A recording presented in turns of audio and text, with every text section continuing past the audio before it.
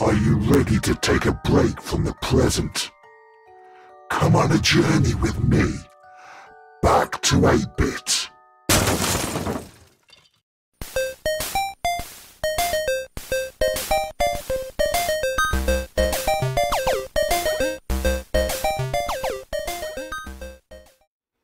Hello and welcome to Back to 8-Bit.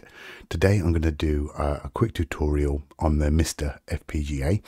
I'll be looking at how to uh, map one of your controllers uh, the correct way uh, to get the best use out of your uh, system. This is uh, something that's been asked by a few people, especially those who are quite new to the MiSTer. Um, it is quite straightforward really, but sometimes it's just nice to see uh, how it's properly done because the menu system can get a bit confusing uh, when it comes to the uh, mapping system. Okay, so what I'm going to do is, as you can see, I've got a PlayStation 2 uh, replica USB controller. And it doesn't really matter which controller you use. Um, and to be honest, you can use as many controllers as you want.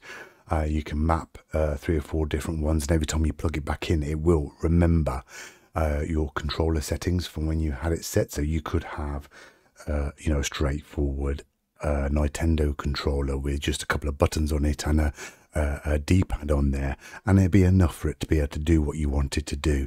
Then, if you are playing some more serious games that do require a few more buttons and, uh, and joysticks, you can use something like this. And again, it will remember all your controller settings. So first of all, we'll go down to uh, the main menu either by pressing escape or the F12 button. Uh, and then you've got your options. And one of the first options you have here is to remap keyboard. But the one we want to do is to define joystick buttons. Um, this will then uh, transpire across all your cores. Um, if you do come across a core that you do need to change the button settings on for any particular reason, you can uh, independently change the settings for each core and map the buttons totally different. And again, that will be stored in the computer's memory.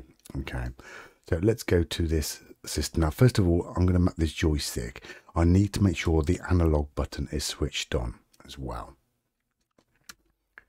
Okay, the first screen is asking you to uh, press the D-pad right. So we just literally press the D-pad right.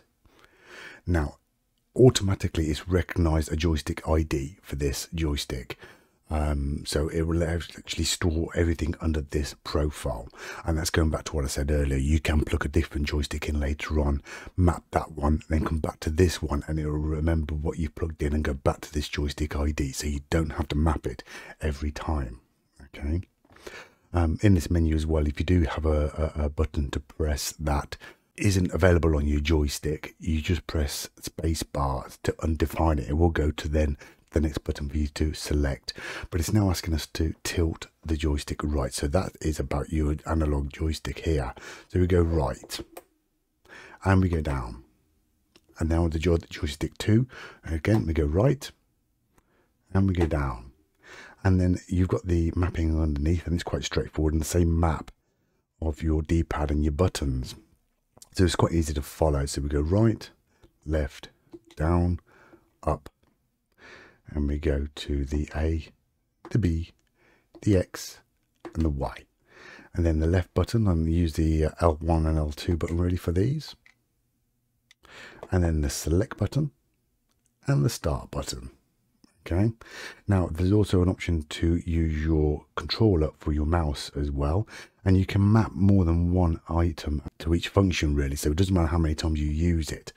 So again, we can use the mouse button for right and go left, down and up. And it particularly helps if you have got uh, using your Minimig core. Left mouse button, right mouse button, and the middle mouse button will use the L2 button and then the sniper will use the uh, R2 button and that really it gives you an option to slow your mouse speed down okay now we can go to the actual MiSTer menu system and now we can press a button to, so we can go directly to the menu system using the controller Um, again, if you don't want to do that, you just press the space bar and that will undefine that function and move on to the next thing. Now with this function, you can press two buttons at the same time. You have a combination of buttons.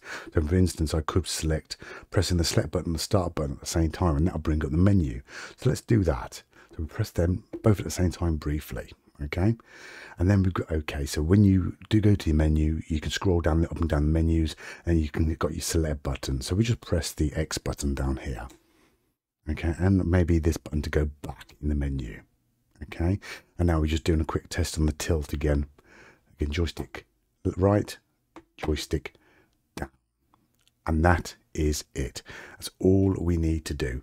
And by right now I should be able to go down to the menu using the controller and I can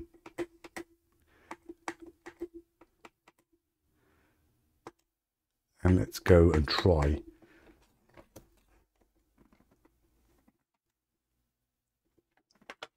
have a look at a game. 1943.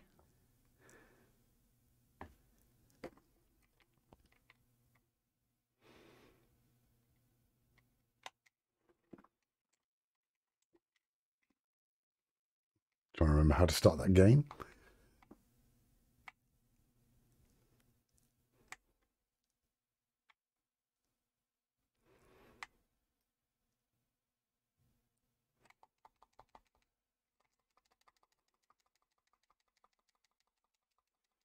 Yeah, seems to be working fine. If I hold down those two middle buttons, it should bring up the menu system, and it does. Go to reset. Perfect. Okay. Well, that's quite straightforward and easy to do. Hope you enjoyed that and come back again very soon.